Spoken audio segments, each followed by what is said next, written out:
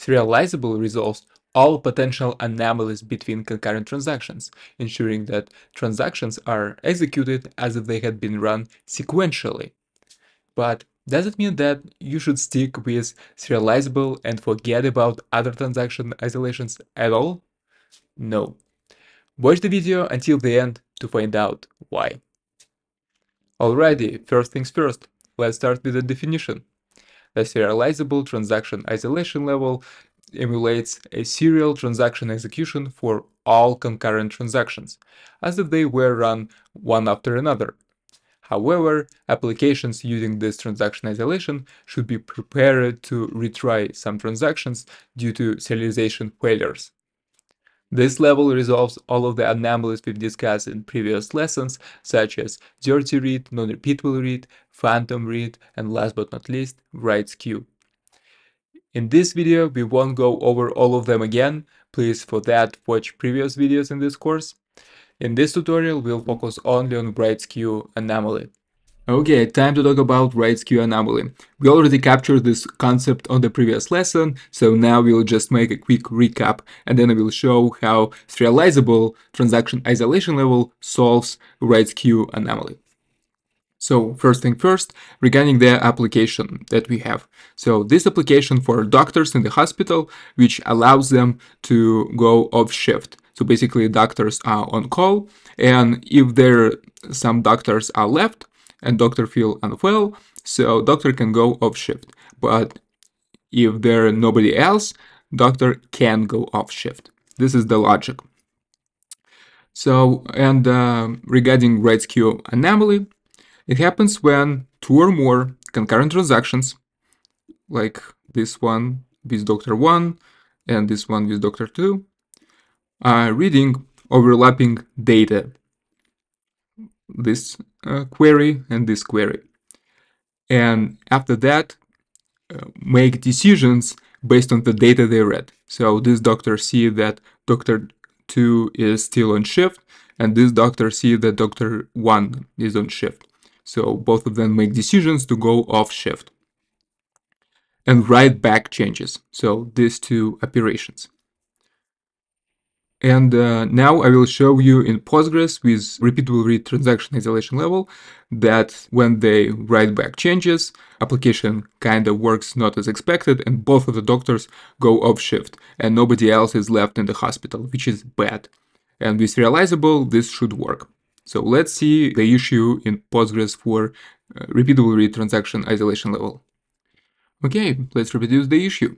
So firstly, we insert two shifts. So now if I will do select from shifts, we see that two doctors are on shift and uh, this part begins.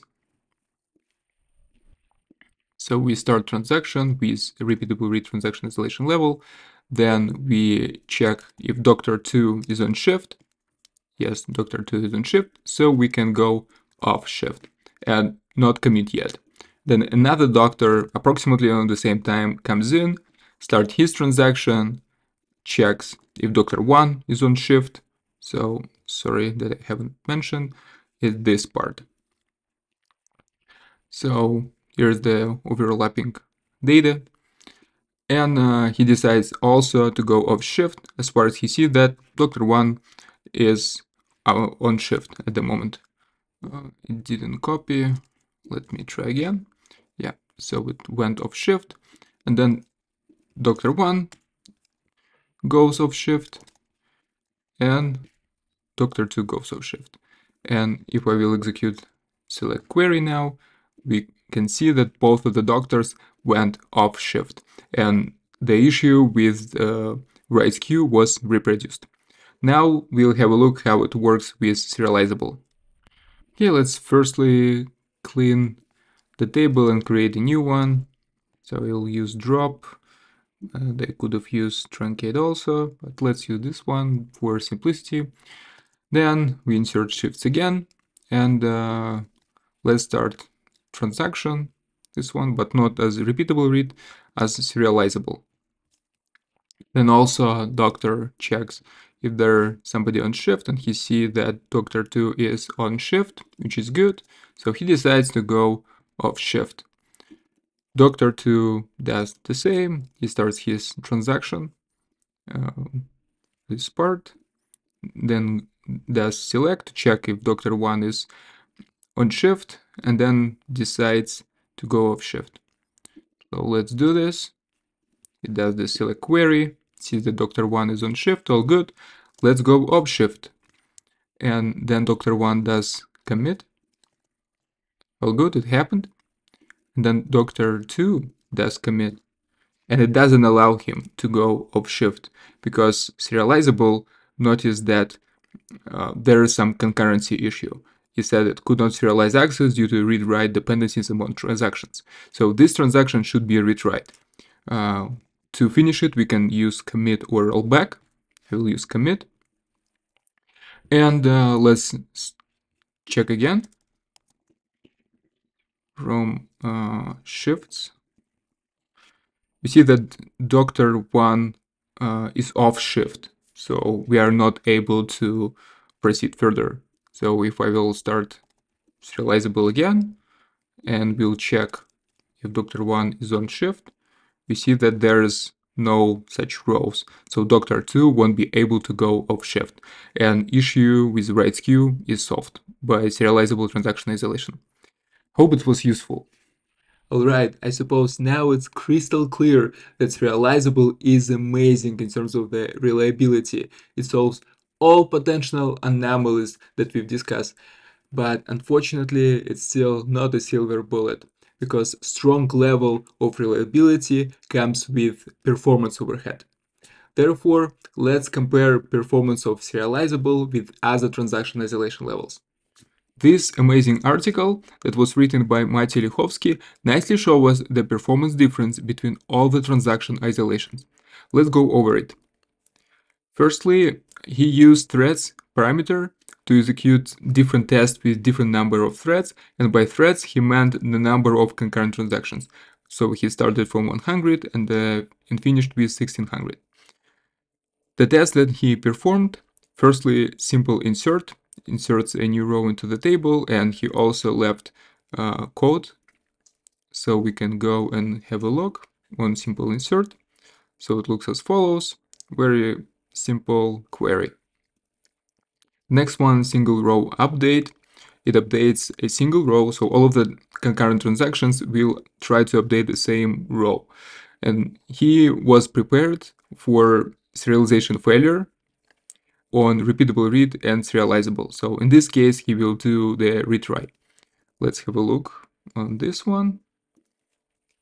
Yeah, as you can see, we try to execute the transaction. If it goes wrong, we try to execute it again, but if it breaks, we finished. Okay, the next is select for update single row. He uses select for update, which logs a row until the update is finished. Select for update skip locked. It's very similar to select for update, but uh, this statement skip rows if the update is not finished. Select for update with foreign key, the same as over here, but for foreign key, so it locks as well the table to which we have the foreign key. Okay, so let's go to the results. I think we can skip each of them and we'll just go to the final one, which is this one. So as we can see, for simple insert, single row update, and the rest of them, results are almost the same except of the random row update. Here, serializable is five times longer uh, in comparison to other transaction isolation levels. But results can be different if you have different schema, different number of records initial in the database and other operations. But I think this chart is nicely show us with what kind of overhead we can face if we will use serializable transaction isolation. So I hope this chart will help you to understand the overhead with which you can face. Alright, I hope this course was useful for you. If you have some questions, feel free to ask them in comment sections below. That's all I've got, and I'll see you in the next one.